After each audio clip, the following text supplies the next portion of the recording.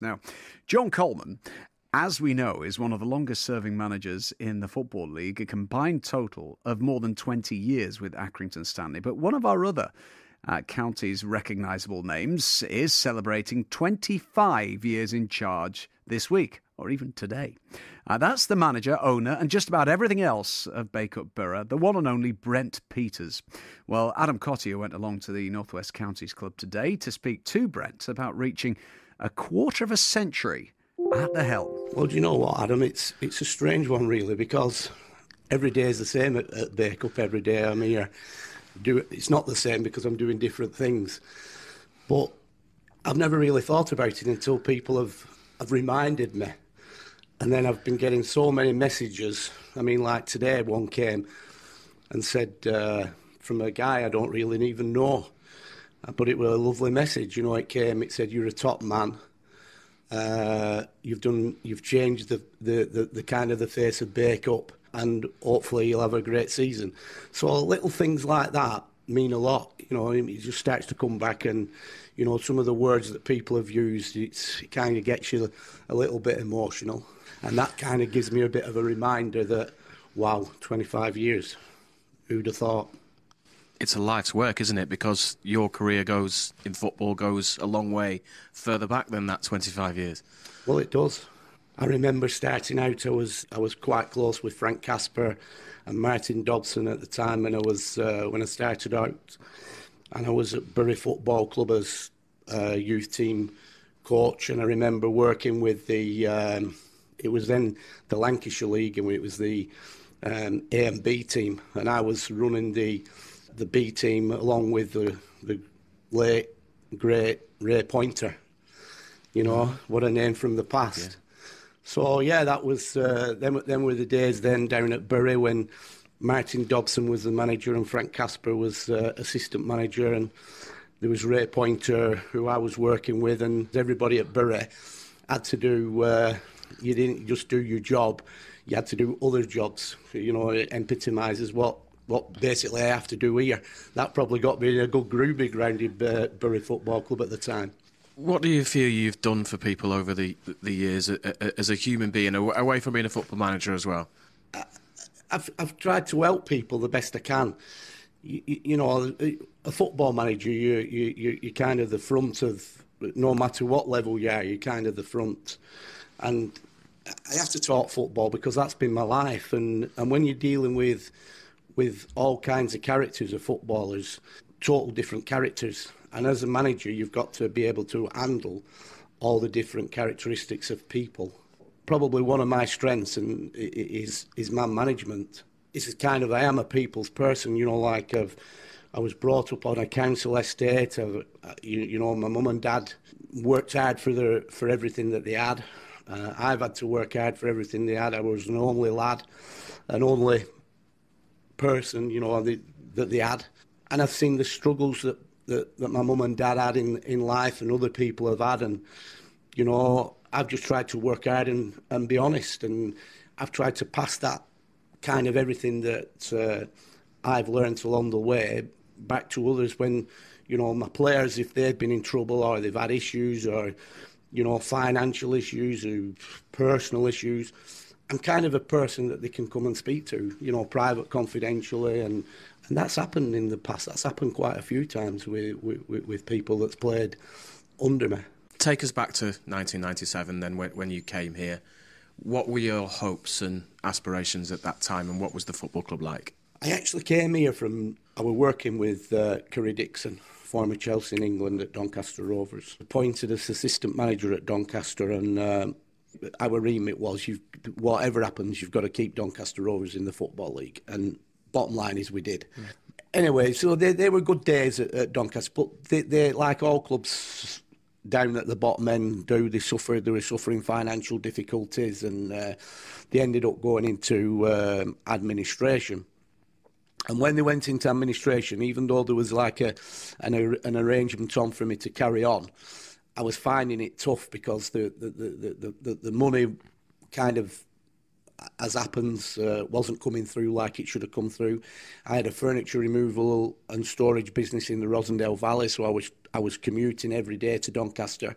There was only one day I didn't go, and that was uh, well, there were two days I didn't go. There were Thursday and Sunday were the two days that I didn't go into Doncaster. Um, the rest of the time we were there, and I were commuting back, and obviously trying to run a business. So it it it, it, it, it really clutched at my my heartstrings because one of me wanted to be still remain in the football league, but I knew that I couldn't sustain what I was I, I, I was doing. So I kind of um, reluctantly had to resign my, my position at, for, at the start of a, a new season. So for the first month of a new season, I wasn't I wasn't kind of I was out of football. How did that feel being out of football? Yeah, it was tough it was tough. I didn't, you know, I, I, I just felt like, you know, now I'm going to be having to apply for yeah. other positions. So it, it, it, it was kind of tough. But there was lads that had played for me previously. We're playing here at Bacup Borough that had played, uh, you know, for me, uh, you know, when I were at Rossendale United. So they'd, uh, they, they, they I remember that I'd come watching Bacup a few times, and um, they were the, the, the whole place was a shambles. They, I, I, in fact, I used to criticise the club. I'd say to lads like, "What are you doing at Bacup? They've got nothing to offer. You know, the pitch is on a slope. It's like the." Sh- there's nothing around. There's no perimeter fencing. The sheep wandering on the pitch, and honestly, I'm not. I'm not exaggerating. It was. It was a shambles it ended up where they got beat on the on. I, I remember it. They they they'd gone to Tetley Walker on the Saturday and they got beat ten 0 at Tetley Walker, and uh, one or two of them were going mad in the changing room. The, the, the then manager and saying to the committee, "Look, look, you need to go and speak to Brent Peters." And uh, he's, he's, he's, he's not in football. He's go and speak to Brent Peters.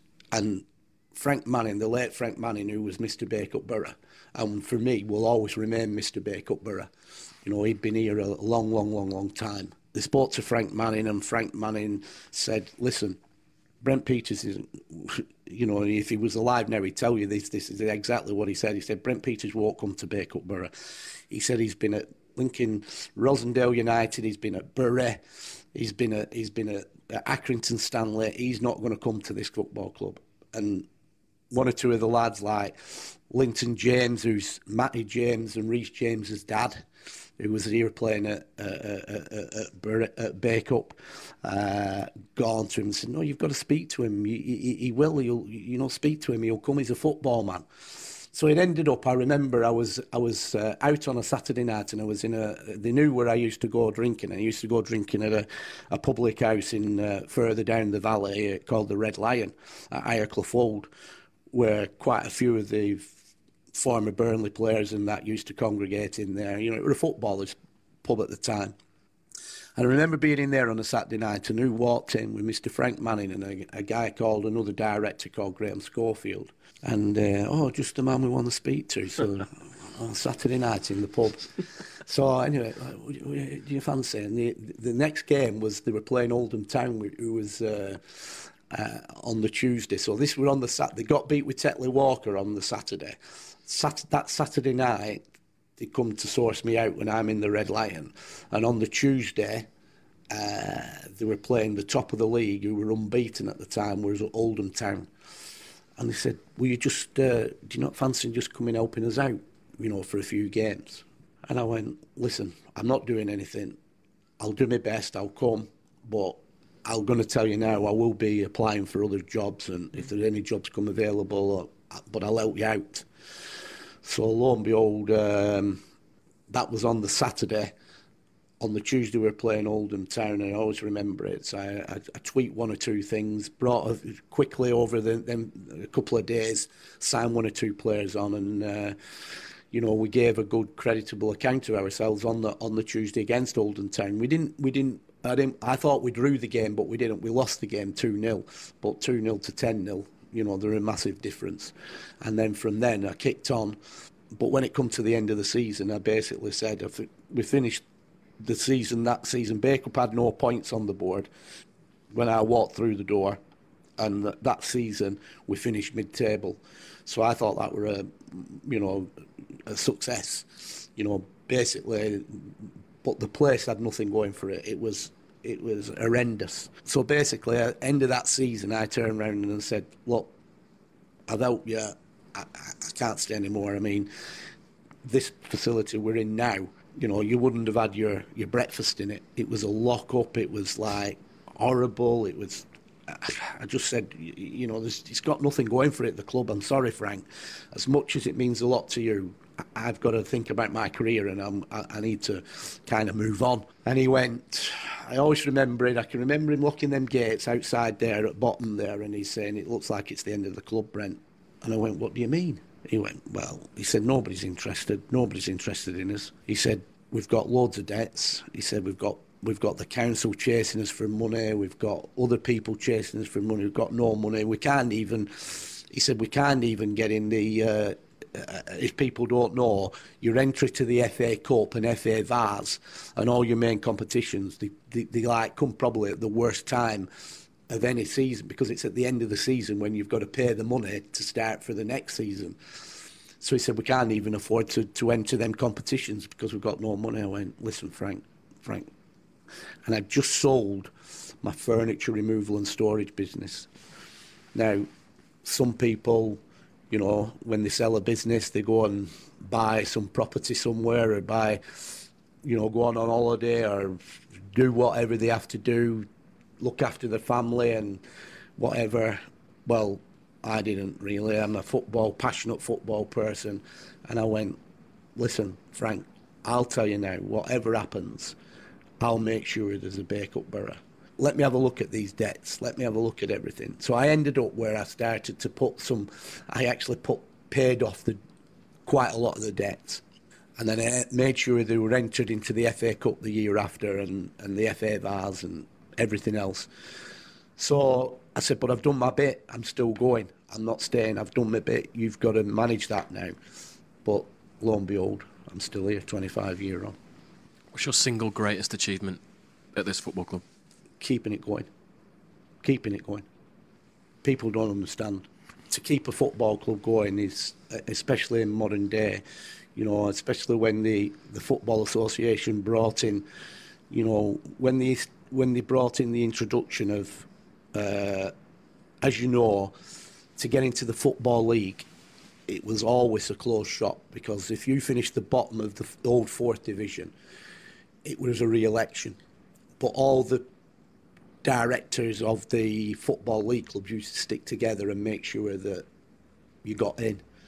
You know, the non-league clubs who were ambitious could not get in. But the FA somehow, some way, put a stop to that where they had the ideal pathway. Basically, once they introduced this pathway through the, the non league sort of pyramid, um, that made it difficult for all clubs because every club throughout, even at the, the bottom tier where we are, right the way through, has to have minimum standards of your ground regulations, not just your health and safety issues, but making sure that you, you, your ground is uh, as in not your football playing surface. Yeah, that's one part of it, but your stadium is up to the required standard for the level that you're playing at. So, what that was going to do, the teams that was happy just to be playing in a, in a competition, even though if they were languishing at the bottom of the league, they knew they weren't going to go anywhere. They knew that, you know, there, there, there were clubs like Bacup, you know, that they didn't want to do anything to the ground. They didn't want to spend money on the facilities. They didn't. They, they just were happy to play and, and be founder members of the, you know, the uh, the Northwest Counties League and, and and just be a part of it and just ride along with everybody else. But that stopped, and when that stopped, and you had to you, you know everybody had to have levels and and and where it, it started to become a, a costly kind of hobby, if you will, that changed the face of football. And that's when a lot of clubs kind of either they're still going today, but they dropped out of the, the English uh, pyramid. You know, when I came to Bacup Borough, this valley had Haslingden playing in the Northwest Counties League, had Whitworth Valley playing in the Northwest Counties League, Rossendale United, and, and obviously Bacup Borough. And for one reason or another, they've, they've, they've, they've gone. So to keep this club going and be at the level that we're at, just keeping the club going is my greatest achievement here. And every every day that I wake up and every day that this club keeps in existence is another day that is a success for me because it's it's it's that great history, 1879. You know, it's it, it's it, it, it's keeping the club alive, and that is massive. You know, that far outweighs any any personal gain, any any trophies that are in the in the trophy cabinet keeping this because there's a lot of history with this football club, and it's important that it remains and carries on. Probably, if we look in football terms, probably one of the greatest achievements is is you know when I, I led them to a league championship when we won the uh, back in the day the Northwest Counties League was Division One and Division Two as we know, they've restructured that now. So the, you've got the the Division One is is the Premier League, uh, and Division Two is like they split it up, and it's which is you, you know north and south. So so basically, when it was Division One and Division Two, my greatest achievement I would I would say was that 56 years that that Borough hadn't achieved anything. I think it was back in I think it was about 2002 uh, where we won the league you know, winning that championship was the first time uh, for 56 years for a club of this standing was was a massive achievement for me, and I, I was I was made up for for. And he's there on that picture there, Mr. Franklin. I'd say he's ba- Mr. Bacup. He's there holding that cup, and he's proudly holding that cup. Um, Are you that, not Mr. Bacup? I, am not. I'm not putting it down as Mr. Bacup. I'd say Mr. Manning were, were Mr. Bacup. Yeah. You know, maybe I've taken the baton from him and ran with it, and I'm still running with it. So I, I probably have to be Mr. Bacup. So that was it. That was obviously the start of things to come. A lot of clubs. There's a lot of clubs out there that haven't haven't had success on a football pitch. If they've been going and carried on going, but we've had plenty of success in my time here, in my 25 year. You know, we've been to, we've won a league championship, we've won two Challenge Cup trophies, we've been runners up in the uh, in a in a in a, another cup final. I've been to five cup finals while I've been here. In five cup finals, we've won two. We finished runners up in the uh, uh, to AFC Fylde in the Lancashire Challenge Cup, which was a great, you know, even though it was a loss I thought it was a great achievement because I once remember the late Eric Whalley saying to me, You haven't done anything, no matter what you do in football, Brent, you haven't done anything unless you win that Lancashire uh, Challenge Cup. That's what Eric Whalley said to me. So I was desperate to win it. But listen, when we played, uh, we got to the Reebok final. Uh, and we're playing AFC Fylde, who were what at the time three leagues, four leagues above us but we gave a good credibility to ourselves where we've uh, we, we we only lost the game by you know it was two 0 on the on the night. You know it could have been a you know a lot worse, but it wasn't. You know we we set ourselves out. So we've achieved quite a bit in my in my time here, and I think we could have achieved more. But it's difficult. It's not easy. You mentioned there's been difficulties. What's been the saddest time for you at this football club? When I when I, I kind of said that I was late, and then I started to put. I, I sold my furniture removal business, so in the end, I started to get into negotiations about about the club and. And, and kind of taking the club over, and there was there was lots of issues. There was lots of scale. Honestly, it's not like buying it where you buy a bit and everything's up front, and you've got you, you know whether it's worth doing or not worth doing. And in football, you can't wait. Time doesn't stand still. That's kind of what it's like in football. You've got deadlines to meet. And if you don't meet a deadline, you miss a season and then it goes on. And that's how it is. And I kind of think here there was a lot of skeletons jumping out the cupboard. There, were, there, were, there was a lot of things wrong. The lease uh, of the facility wasn't right. Uh, you know, I was getting told one thing off the people who, who was involved at the club. They were saying that you know the place was licensed and uh, they had the and I was I was desperate to get copies of the license so they, they sell beer, and that weren't forthcoming. There was a lot, and the, I was having endless meetings with the council to try and get the lease sorted out, and the council like I wanted to at first I wanted to buy the, the, the freehold, and one of the councillors had turned around and said, "Yeah, it, I could do it." But then when when we'd sort of agreed everything, and I put mo- kept putting money into it, to you know, because it don't come cheap. You've got to have architects, you've got to have solicitors. So I had the architects, I had the solicitors and then all of a sudden the general election had come in and they, they'd turn around and the, the, the councils that, that were agreeing one thing, they get voted out and then a new party come in for a long, long time, I was infighting with the council and still having to put a team on that park, and and, and it went on till 2010. So this this this argument started in 2000, and it was 2010 when eventually the party that were in at the time were conservatives, and the leader of the council, I knew his family very very well, a guy called uh, Swain, and he, he said to me, Brent, we'll bring your solicitor down. We all want to meet him. We want to get round the table. And I, remember going down to Futures Park, and in the first like probably 10 minutes of the there was a cross argument going on between my solicitor and the council solicitor who happened to be the assistant chief executive and it were all about scoring brownie points and I'm listening to it and I'm going listen can I stop you there all I am I'm a work from I'm, this is all over my head I'm trying to save and keep going an old established football club that means a lot to the community of Bacup. I said, that is all I'm here for. I don't want to listen to this. So in the end, Mr. Swain turned around, who was the leader of the council. He said, have you any objections in your solicitor leaving this room? And um, me and you and my our solicitor, I was the assistant chief executive, he leaves the room and me and you will talk man to man.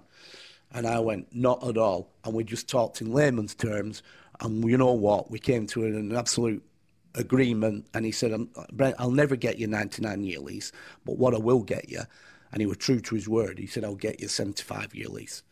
And he said, in 2010, what a success that were, because that was the time, not in 97 when I took over, not in 2000 when I actually took over trying to run the organisation. Once I got that secured in 2010, that lease, that meant that that was the start of the future of Bacup Borough Football Club because that was the that was a great lead, but that meant that I could go to people like I went to Brian, the late Brian Boys, who was the chairman of Boys, who were still our sponsors, uh, main partners today.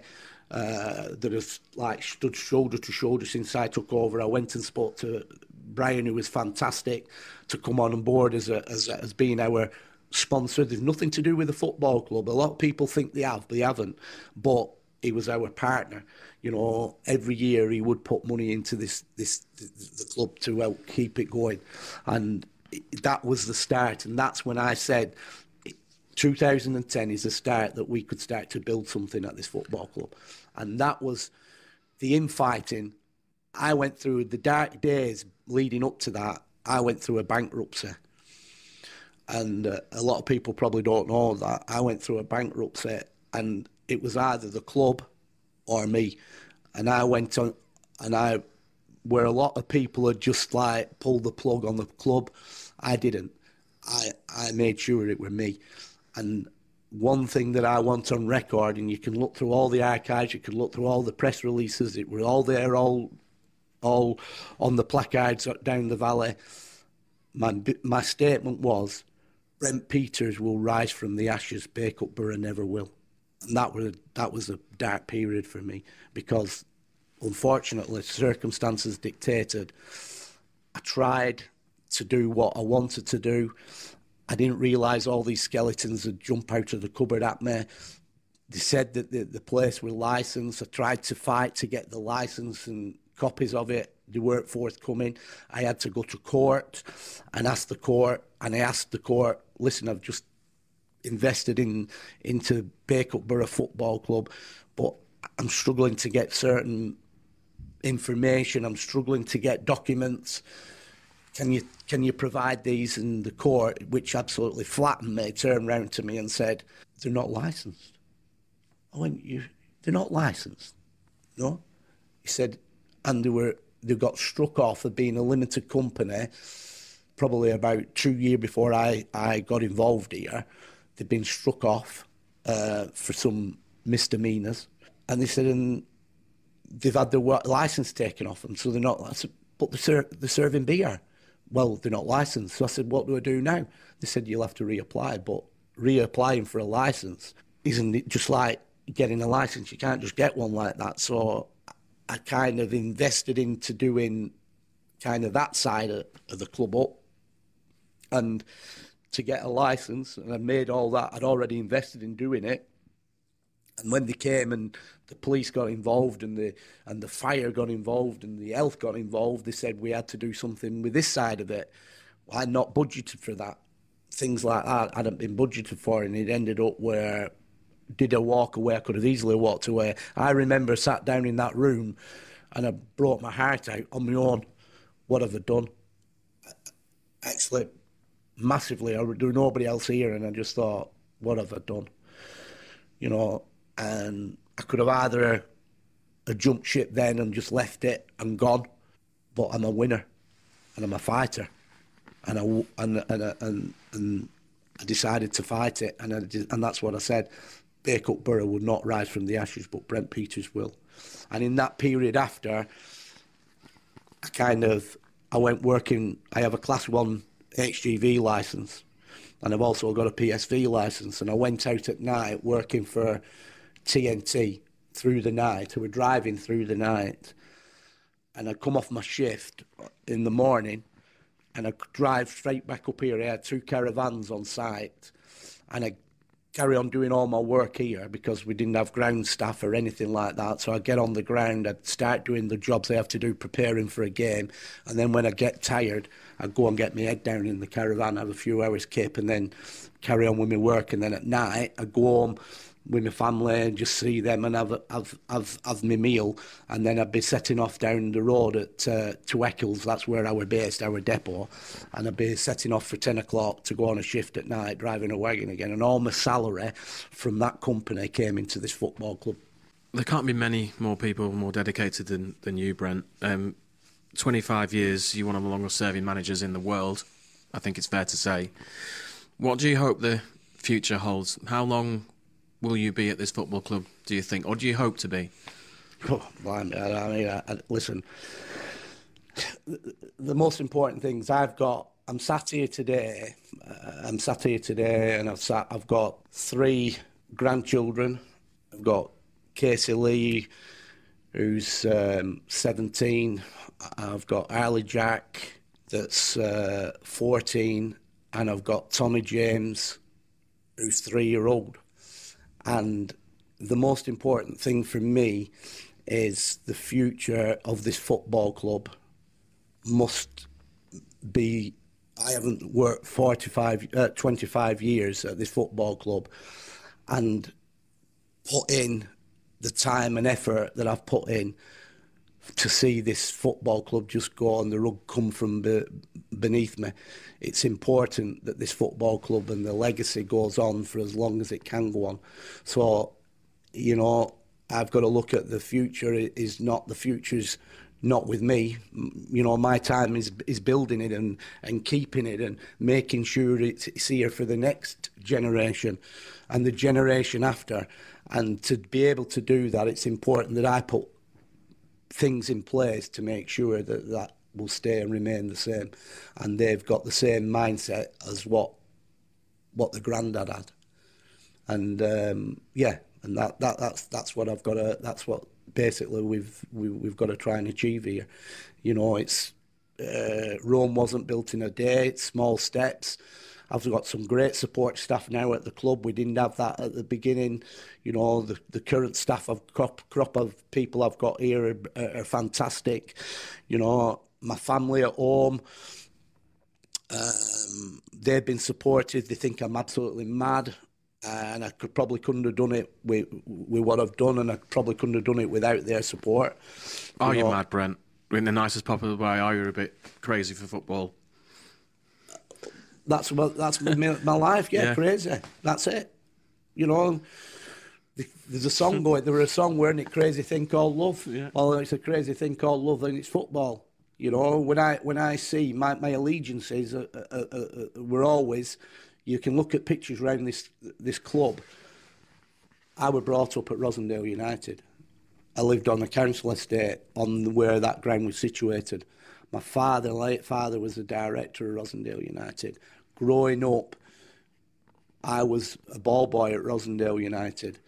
I've gone through, or even a ball boy, Rossendale United's greatest, one of the greatest achievements at Rossendale. They played Bolton Wanderers, and the game was taken to Gigg Lane, and I was actually their official ball boy at Gigg Lane, and I grew up with the club, and you know, to to to eventually in '93, that was the that was the only reason and reason that I left Bury Football Club at, at the time because I was offered the chance to be the first team manager in 1993 of my hometown club, and I felt then at that time, no matter what I ever do in football, wherever I ever go, I might always regret and never get another chance of taking over my hometown club, especially when they'd suffered a relegation.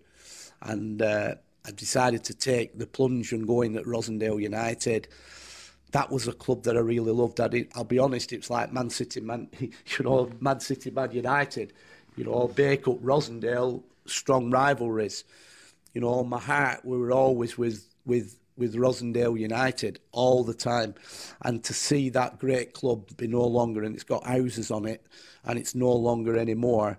You know, I, I, I I'm just so grateful that I've been able to, you know, in a small way, be able to do what I've done here at, uh, at Bacup Borough, but I couldn't have done what I've done up to today at Bacup Borough without the help and backing of some truly magnificent people like my family and like you know like we've got since I walked into this football club, we've got Deborah, who's still here today. You know, she's been a rock, uh, you know, with regard to the football club.